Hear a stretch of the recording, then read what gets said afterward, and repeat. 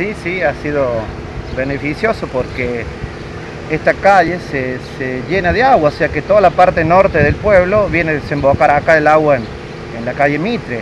Esto se, completa de agua. Es muy necesario el, pavimento en esta calle.